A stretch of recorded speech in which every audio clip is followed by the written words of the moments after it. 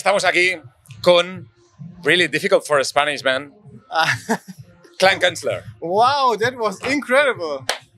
Wow, big respect. The best time in Spain that uh, that someone so um how, how do you how do you say it?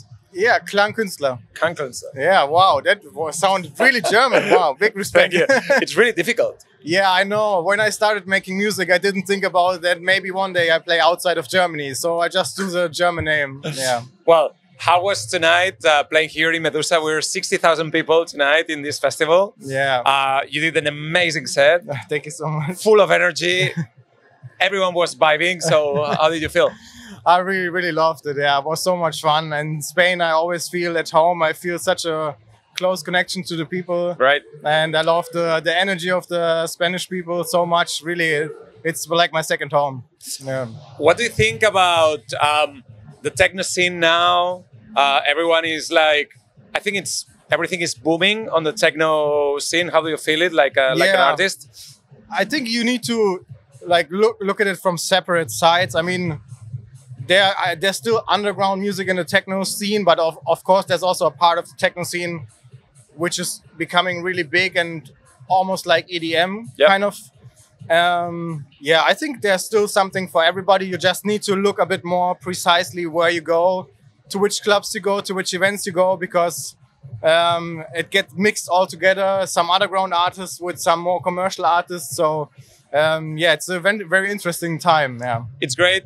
I think for the industry is amazing for all the DJs. You know, like there's place for everyone. But also in the techno world, uh, it's always like this mainstream, not mixing with underground. Yeah. Um, what do you feel about uh, about it? Do you like it? Do you feel Um, comfortable with it?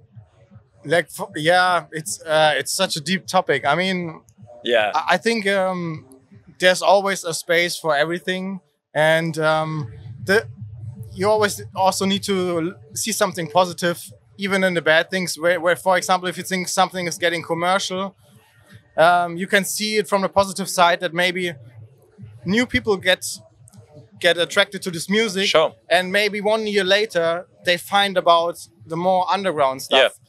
They And- do a deep dive of something and, Exactly, yeah. and find other things, right? Of course, um, the bad side is that when something gets commercial, that the quality is, goes down because it's yeah.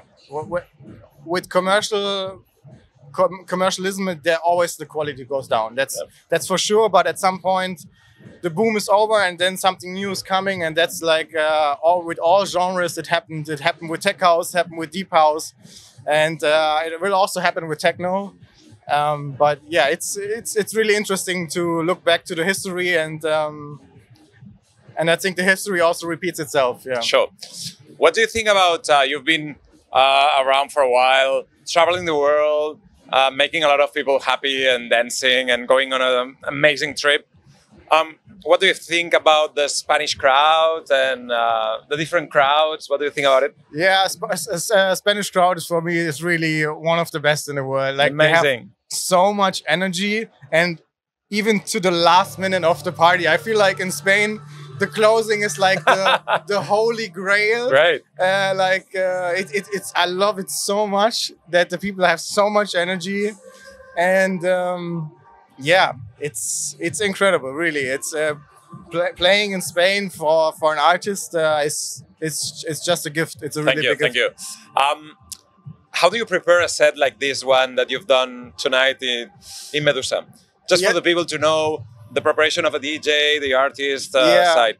I mean, like this was a bit different to other sets because normally on festivals you don't play three hours.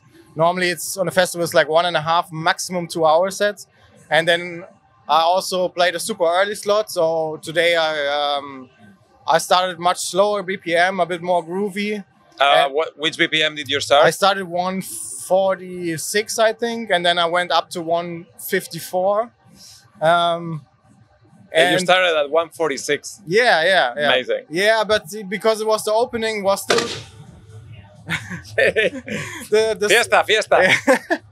the the sun was still out, and I didn't want to just go super hard from the beginning, and um, but like normally I just make folders which which have different energy levels, it's not like that I prepare a special set only for a specific uh, gig, but I have folders which like warm up, hard groove, old school techno, hard techno, and So uh, you just uh, kind of structure the set as you know, like as you see the crowd, as you see the vibe. I, I go with the flow and I don't prepare anything. Um, I just think about the intro. For example, today uh, I played an intro with a Spanish vocal which I created. yeah, Um, great. Uh, and I, I cut the vocal out of uh, out of, out of um, Spanish um, uh, series, and um, that these are kind of things, little things which I prepare. Yeah, like a cool thing that engage with the crowd, right? Yeah, exactly. But uh, to prepare the full set would be a bit boring, just standing there and to know already.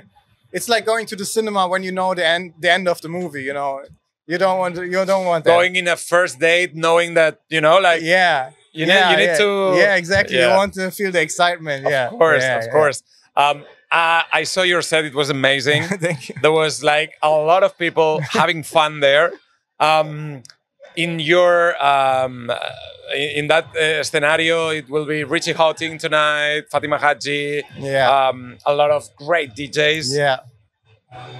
It's amazing. Yeah, it's uh, it's a, it's such a pleasure to play here. I'm uh, I'm I, I, I'm so blessed and um, yeah, especially uh, this this lineup. Uh, I love Fatima, I love Richie. It's uh, it's amazing, all amazing artists, and um, yeah, it, the stage the stage production looked also amazing. That's also something is really important for me. I also care a lot about lights and how the stage looks, and uh, also that that some people could go on stage and have fun there. I love that so much because that's really where on the It's festival. great. Yeah, yeah, Yeah, sure. yeah. How's your summer been? Uh, where what are you going? You're going to Switzerland tomorrow. Yeah, Oh, you so come from now Switzerland? I go now I go to Portugal. I play at another festival there. Then tomorrow a street parade uh, in Switzerland, and then on Sunday uh, Amnesia in Ibiza. Yeah, Great. yeah.